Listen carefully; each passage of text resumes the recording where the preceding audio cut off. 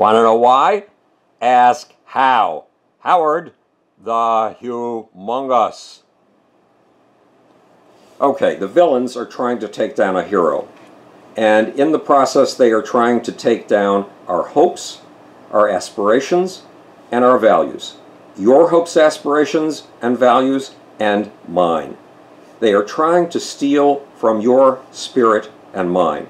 Now, what the hell am I talking about? The attempt to take down Elon Musk. Why is Musk what the New York Times' Kara Swisher calls one of Silicon Valley's complicated gods? A god on a par with Steve Jobs? Why will he be a god to your kids, your grandkids, and to mine? Why will kids a hundred years from now be inspired by him? We'll get to that in a minute. But first, a bit of background. The man who parents are supposed to hold their kids up to as an example is the man in the White House, the president. And what values does the current president represent? Lying, destroying, making promises to build wondrous things, things like a 21st century infrastructure for America, and a health insurance system that we will, he swears, love, love, love, then building nothing. Not to mention name calling, a form of disrespect that goes beyond disrespect, calling Mexicans murderers and rapists, and calling his opponents Little Marco, Lying Ted, and Criminal Hillary, dehumanizing his opponents and demonizing them, while he himself is the real liar, and in all probability, the real criminal. Are lying and dehumanizing the values that you want your kids and grandkids to imitate? Says the Bible, without a vision a nation shall perish. Right now, we Americans suffer from a vision deficit. The Chinese are building a new Silk Road, a $1.5 trillion project that will link 66 countries and 4.4 billion people. There is no similar grand vision in our White House. But America does have a compelling vision. It does have at least one figure who embodies the values that you and I want to teach to our kids the values of freedom of speech, tolerance, pluralism, American ingenuity, and American workmanship. That man is Elon Musk. If you saw the two boosters of Elon Musk's Falcon Heavy land in perfect synchrony in February, and it looked to you so perfect that it seemed to be an animation, you saw a miracle, a material miracle. And that miracle's producer is Elon Musk. Ten years ago, Musk had never gotten anything off the ground, and people mocked him for it. Today, Musk has sent 50 rockets to space. That's more than most nations. Musk wants to take us to Mars in cruise ship luxury, 100 of us at a time, and I am certain he will do it. But in the last two weeks, the villains have tried to take him down. Short sellers are people who make their money in the stock market by betting that a stock will go down. And short sellers have bet that the stock of one of Elon's companies, Tesla Motors, would dive. They bought Tesla stock when it was peaking, when it was high. Then the short sellers have tried to crash that stock. How? By mounting a hashtag Musk meltdown campaign, by spreading the rumor that Musk is losing it. And the short sellers campaign to smear Elon Musk and to nosedive his Tesla stock has worked.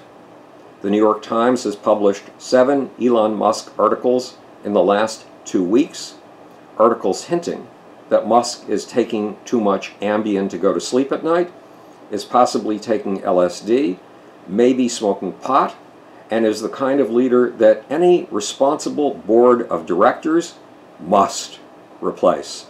Spreading that rumor has paid off for the short sellers. They've tanked the stock by 9% and made a billion dollars shorting Tesla stock. Then there's the SMIC, the Space Military Industrial Complex. which hates Elon's price-cutting competition.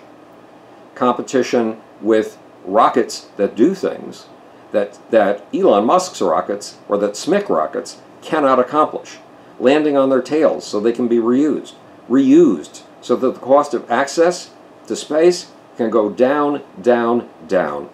The SMIC has the most powerful lobbying and PR apparatus that I have ever seen. If it jumps into the attempted Musk takedown, all hell could break loose. Look, Elon Musk is operating under severe stress. He's working 120 hour weeks and sleeping in one of his Tesla factories for up to four nights in a row.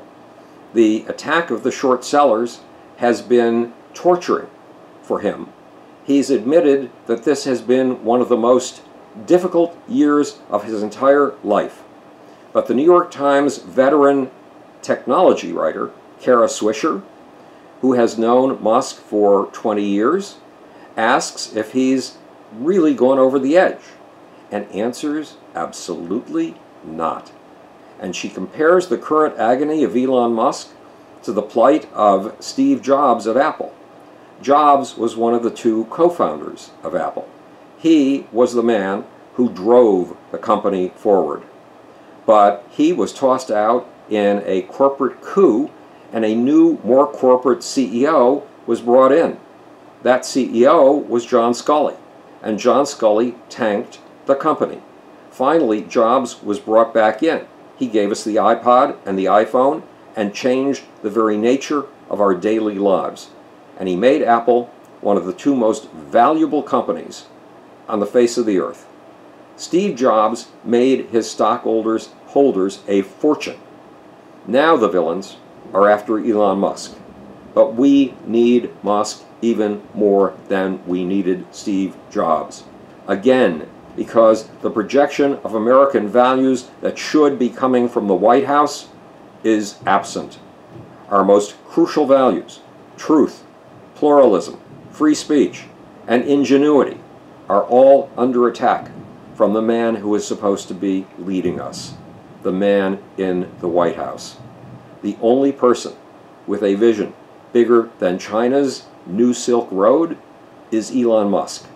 We cannot afford to see the villains succeed.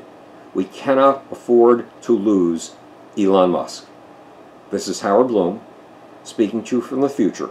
It's your job and my job to make. Or, want to know why? Ask how. And now for that insidious appalling. Even more difficult to find than usual, little off button. Bear with me. Aha! I've got it.